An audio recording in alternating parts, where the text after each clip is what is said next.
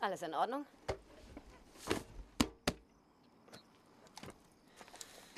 Ich bin mit meinem Bike auf den fahrenden Zug gesprungen.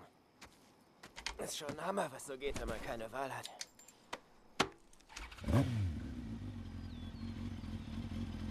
Wo sind Val und Dalton? Er hatte mich, Mann.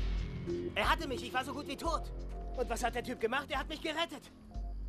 Ich raffe einfach nicht, warum er das getan hat. Er fühlt sich nicht auf wie ein Killer. Ich weiß nur, dein Bruder ist tot und der Kerl ist auf der Flucht. Da stimmt irgendwas nicht.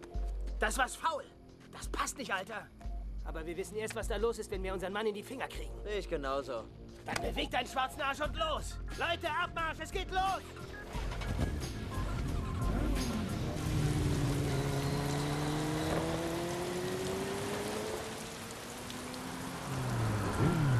Val war das erste Mal schneller als du. Muss an der Süßen liegen. Ja, ich war noch kurz im Nagelstudio. Willst du die neuesten miesen Nachrichten? Alle Hauptstraßen in L.A. sind gesperrt. Ich weiß, du hast gesagt, es macht keinen Spaß, wenn es zu leicht ist. Aber irgendwann hört der Spaß auch auf.